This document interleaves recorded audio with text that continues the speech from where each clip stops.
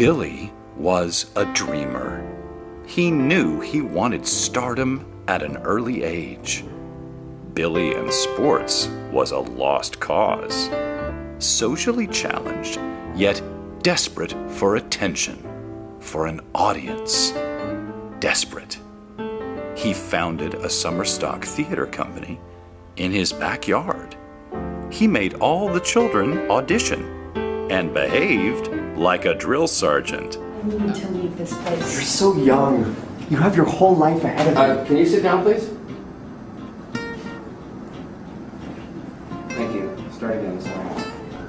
You don't understand. I need to leave this place. You're so young. Would you You have your whole life ahead of you. You sound like my parents. Tracy! Oh, sorry. Go ahead. Can we take it back from the. Let's take it back? You don't understand.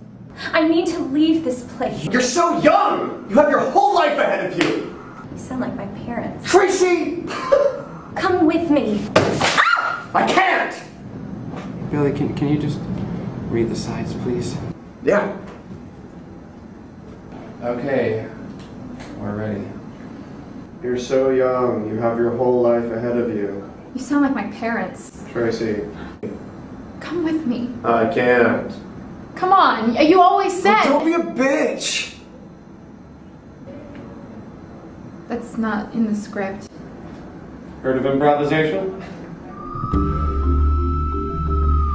Nathan Lane, what are you what are you doing here? The question is, what are you doing here?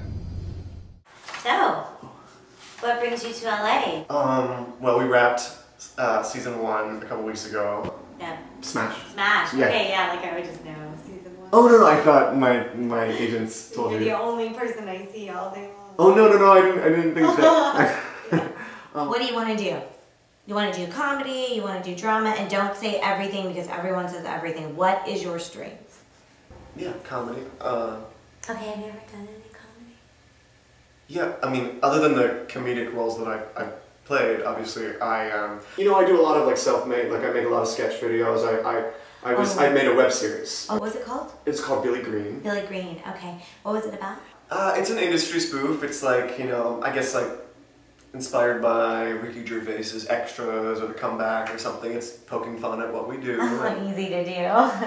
oh, okay. So Rock of Ages, the off Broadway. You were in the off Broadway show. Uh, and we transferred to Broadway. I was in the original Broadway cast. So you were in the off Broadway show. That's fun. Um, so now who who plays you in the movie? Actually, true story. Okay, yeah, I'm so excited. Um, my whole subplot, uh, Franz, Hertz, Regina, that whole, the three characters, the three of us, uh, we were cut from the film. Um, the Hertz. Oh, so it was like not really important to the story. No, it, I'd say it was. I mean, it, That's okay. It's okay. Oh, so Addams Family. Yes. Addams Family, That's- the musical. Oh my gosh, did you have fun? yeah, yeah. Yeah, I heard that was so bad. Um, yeah, we got some pretty bad reviews. Really bad reviews. Yeah. yeah, I heard it was like one of the worst musicals ever. Which must be must be kind of fun because then you like go down in history, right? Um, So you only do musicals. no, I went to drama school actually, but it's one of those things where like you get out of school and you tell your your agent like I can sing because you want to be employed faster, and then cut to a couple Broadway musicals later and you can't get seen for a straight play. It's kind of frustrating. Well, it's lucky for you that they're making musicals on television because now you get to be on TV.